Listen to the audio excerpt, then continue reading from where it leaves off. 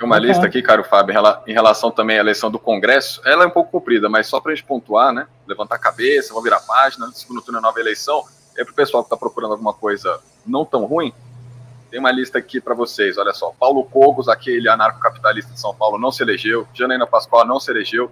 Dos sete Puta, Janaína, a Janaína estava mais do que previsto que ela não iria se eleger. Ficar é. ali daquela mala claro. sem alça, pelo amor de Deus, sabe? Janaína, claro. esquece a política, vai cuidar da advocacia.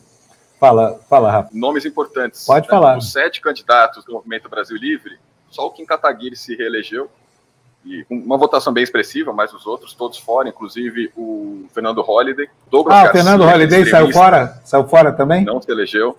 Douglas ah. Garcia, o extremista de direita de São Paulo, que atacou a Vera Magalhães, também não, não se, elegeu. se elegeu. Fabrício Queiroz não se elegeu. Não, né? Teve seis mil e poucos não votos. Se elegeu. Seis, seis mil e poucos votos, é. não, não teve voto nenhum. Faltava essa, é brincadeira, né? Na hora que o Fluminense, apesar de votar muito mal, não chega ao ponto de precisar de internação em camisa de força. Já está ótimo. é, Os irmãos Weintraub não se elegeram, Nise Yamaguchi, Adriles, Antônia Fontanelli, aquela influenciadora também de direita, a ex-esposa do Bolsonaro, Cristina Bolsonaro, foi envolvida ali no escândalo dos imóveis. Mãe do 04, mãe dinheiro. do 04.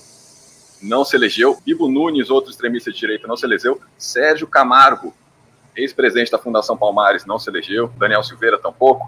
André Porciuncula, que é aquele extremista também da Secretaria de Cultura, não se elegeu. Eduardo Cunha não se elegeu. Frederico Assef, advogado do Bolsonaro, não se elegeu. E Capitã Cloroquina também não se elegeu. Ou seja, o cenário, né, claro que é pessimista por conta das expectativas uhum. levantadas por pesquisas, mas é aquela coisa, né? Poderia ser pior, meus caros. Isso é verdade. Segundo turno é uma nova eleição, uma nova luta. Cabeça em pé. Gente, agora eu estou muito curioso para saber a posição do Ciro, viu? A Cátia Regina está apostando que ele volta para Paris aí, ó.